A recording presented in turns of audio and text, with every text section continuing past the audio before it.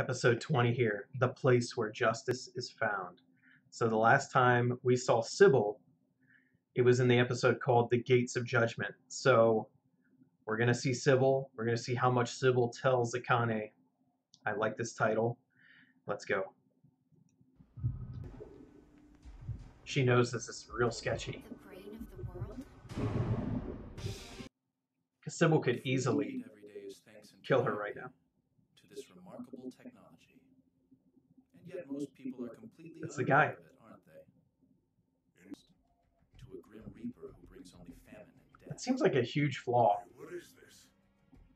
On top of that, they decided This is frustrating because a future society should be more prepared than this. Like a monocultured agriculture is, we already know, very dumb. Like we know that now. Why would they suddenly think it's a good idea in the future? Or maybe it was a cost they were willing to pay to not have to interact with the rest of the world. Is it that bad that they said this is a risk we can take? to convert a lab in an old closed-down universe. Professor Kudam and that the security is so lax at the facility. Like they didn't think this through. This is not for such a smart system. It's very dumb. Wow. So Makishima is able to commit very crazy amounts of violence. Yeah, that's horrifying. We had individual personalities and bodies, we were all far more cruel than those that Makishima has committed. Wait, are you saying Right. It's a horrifying thought. monster made up of evil people's brains, and this monster's been running our world? This is another thing I want to know. Who in the government knows about this? Who physically maintains a system? And who knows that it's made up of brains of basically asymptomatic criminals besides her now? Because someone someone has to physically maintain it. There's no way that robots can run everything also who put the system in place in the first place? Because like those people could still be alive. It's not that old. Someone out there knows and either the system got rid of them or they became part of it voluntarily. I don't know. Yes, it is true that each and every one of us here you, put higher importance on its existence than on its justifiability. Ooh. What a creepy phrase you said that you had to kill Kagari, treat me like a fool. he said What you you're not going to tell You're just a... Ah, you want to nod, but yet you hesitate.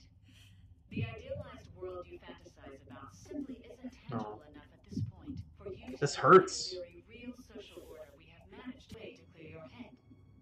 And That's it? you moving forward. she just needed to know for motivation You too disagree with Shinya and she doesn't tell anybody it was right The future will be set in stone in less than three minutes. Oh. How depressing. Come on, Your score on the final exam Flashback. terrible. Why would you even ask my opinion? You could have become anything you wanted. He's dead. Kind of life there is a person could live. How Probably. do you feel now?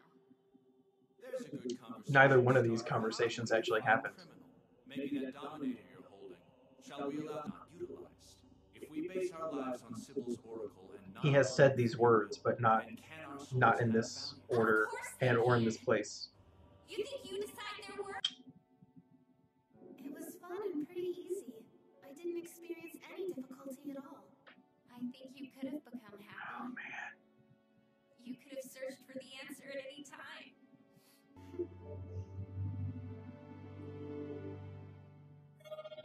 just a reminder she was killed right in front of her I'll be there as soon as I can.